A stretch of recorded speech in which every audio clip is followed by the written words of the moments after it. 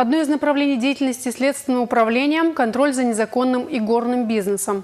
Недавно оперативники уничтожили крупную партию одноруких бандитов. 650 игровых автоматов, бильярдные столы, столы для покера. Все это сначала оказалось под прессом, а затем в огне.